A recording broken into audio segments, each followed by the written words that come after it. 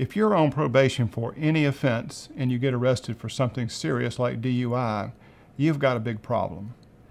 The judge who has you on probation has the ability to not give you another trial. There's no regular due process, there's no proof beyond a reasonable doubt.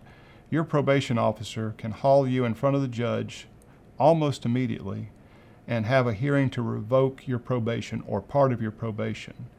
Depending on your history and the seriousness of the offense and what you already were on probation for, you might be facing some serious jail time even before your case gets a chance to come to trial for you to win.